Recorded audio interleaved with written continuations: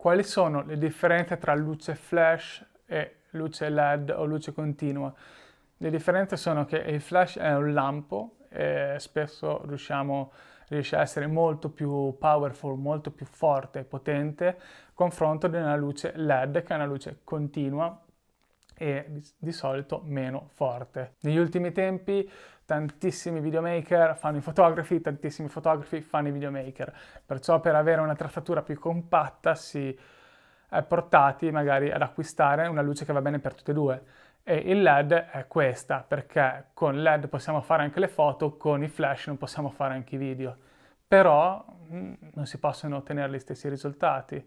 Per esempio se devo fare un ghiacciare con la luce tra virgolette, ghiacciare una goccia che cade, col flash mi viene molto più facile e ha una qualità molto più alta. Perché? Perché con il LED la luce è quella, la potenza è quella, perciò per avere un tempo di scatto molto veloce per riuscire a immortalare questa goccia che sta cadendo, devo di conseguenza aprire il più diaframma, perciò se ho un diaframma molto aperto farò fatica a tenere a fuoco questa goccia e in più ho una perdita di incisione data all'apertura molto ampia del diaframma, perciò la mia lente perde incisione e se questo non bastasse dovrei alzare anche gli ISO. In quel caso io preferirei avere una luce flash.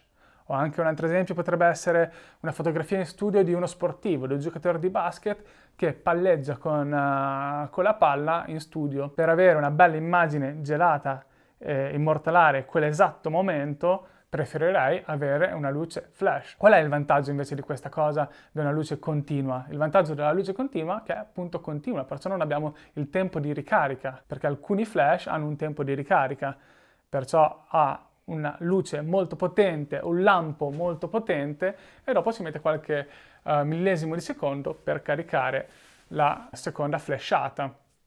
O un altro problema del flash invece potrebbe essere che la prima flashata è molto potente e quella dopo riesce a farla, però in realtà non ha caricato del tutto, perciò è un po' meno potente, perciò avremo una foto esposta correttamente e la foto dopo leggermente sottoesposta. E noi cosa facciamo? Di conseguenza andiamo a regolare la macchina fotografica, facciamo un'altra foto e la foto dopo ci viene sovraesposta, perché in realtà noi abbiamo cambiato il settaggio della camera per avere una foto esposta correttamente in base alla foto precedente che dove il flash aveva scattato e non era completamente carico. Perciò abbiamo cambiato il settaggio, facciamo la foto, il flash nel frattempo si è caricato completamente e la foto che facciamo viene leggermente sovraesposta.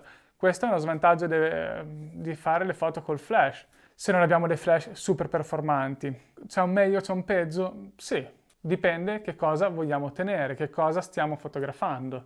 Se dobbiamo fotografare appunto qualcosa di molto veloce, è meglio il flash. Dobbiamo fotografare un bambino e il flash gli può dar fastidio, è meglio la luce continua.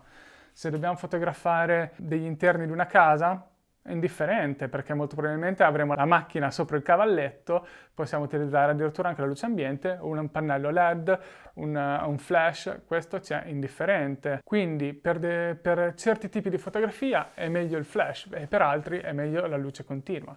Non è detto che io queste due luci non le possa mischiare, spesso eh, la luce flash può essere mm, il lampo, la luce principale e di conseguenza abbiamo una luce continua, chiaramente dovrà essere una luce continua forte, per schiarire o fare un controluce o illuminare una parte della, della stanza. Sono sicuro che negli ultimi anni c'è stato un calo nelle vendite delle luci flash per il fatto che eh, le luci continue sono sempre più complete. Ci sono addirittura dei, dei LED che riescono a fare dei piccoli lampi flash, che chiaramente non sono forti come un vero flash, però il vantaggio del LED è quello che molti possono cambiare le cromie, possono cambiare i colori, possono essere più compatti, più piccoli, la batteria dura di più, la luce continua per un fotografo all'inizio è più facile perché sai già come, dove la luce va a colpire, in che modo va a colpire, l'esposizione della camera è già pronta perché con il mirrorless abbiamo già la foto finita prima di scattarla,